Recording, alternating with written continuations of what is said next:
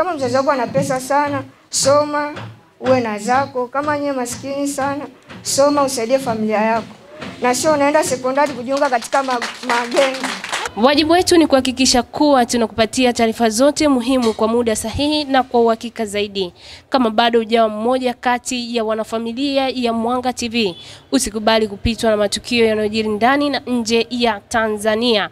Unachotakiwa kufanya ni kuhakikisha una subscribe chaneli ya Mwanga TV kisha unabofya kitufe cha kengele kilichopo mbele ya neno subscribe. Baada ya hapo, una share kwa wengine pamoja na kutoa maoni yako juu ya taarifa zetu. Pia usiache kutufuatilia katika mitandao ya kijamii ikiwemo Facebook, Twitter na Instagram kwa jina la Mwanga TV. Mwanga TV imetia kambi katika shule ya Albehije Francosea Pre and Primary School ambapo yanafanyika mahafali ya tisa kwa wanafunzi waliohitimu elimu ya msingi na kukutana na kijana aliwahi kuwa mwanafunzi wa shule hii Ramadhan Idi ambaye kwa sasa amehitimu kidato cha pili katika shule ya sekondari ya Iliboru mkoani Arusha. Ramadhani ambaye ni kijana mwenye ulemavu wa mikono ambao unamfanya kufanya shughuli zake nyingi kwa kutumia miguu yake, ni mmoja kati ya waalikwa katika hafla hii, na alipopatiwa fursa ya kuzungumza machache kwa ajili ya kuasa wanafunzi wenzake ambao wanatarajia kujiunga na elimu ya sekondari kwa mwaka elfu mbili na ishirini, alikuwa na haya ya kuambia.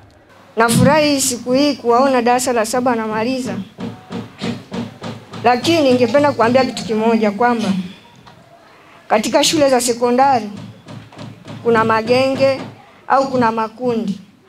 Kwa hiyo katika makundi hayo kuna makundi mengi kama ya wavuta bangi, e, watoro. Kila mtu anajua familia yake, anajua familia yake labda maskini au wengine matajiri sana. Kwa hiyo jisomee. Kama mzazi wako ana pesa sana, soma uwe na zako. Kama nyewe maskini sana, soma usaidie familia yako, na sio unaenda sekondari kujiunga katika magengi. Mbali na kutoa nasaha hizi, alitumia miguu yake kuwaandikia ujumbe huu wanafunzi hawa, akiamini kuwa kupitia maandishi itawasaidia kukumbuka na kuzingatia zaidi. Rama ameandika hivi, ningependa kuwashauri kwamba mtakapoenda serikalini msaidiane, kwa sababu sekondari kuna wanafunzi mbalimbali kama walemavu, wasaidia, wasaidie kwa kila nyanja kama haja yao inavyotakiwa, masomo na mambo mbalimbali.